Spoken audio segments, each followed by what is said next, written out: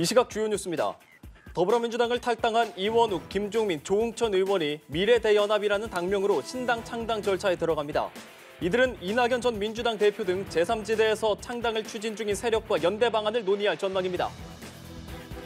2022년 9월 윤석열 대통령의 미국 방문 당시 불거진 자막 논란과 관련해 법원이 MBC에 정정 보도를 하라고 판결했습니다.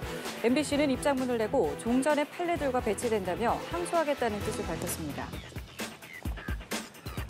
봉준호 감독과 배우 김의성 등 문화예술인들이 경찰 수사를 받다 숨진 배우 이선균 사건의 진상규명을 촉구했습니다. 봉 감독은 다수의 수사 내용이 어떤 경위로 언론사에 제공됐는지 면밀히 밝혀야 한다고 주장했습니다. 경찰이 최정우 포스코홀딩스 회장과 이사 등 16명을 업무상 배임 등의 혐의로 입건했습니다. 포스코그룹의 지주회사인 포스코홀딩스가 지난해 해외 이사회를 열면서 비용을 불법으로 집행했다는 의혹 때문입니다. 미국과 영국이 글로벌 물류의 동맥인 홍해를 위협해온 친이란 예멘 반군 후티의 근거지를 폭격했습니다. 후티가 팔레스타인을 지지하며 벌여온 상선 공격에 대한 보복으로 중동의 긴장이 최고조로 치닫고 있습니다.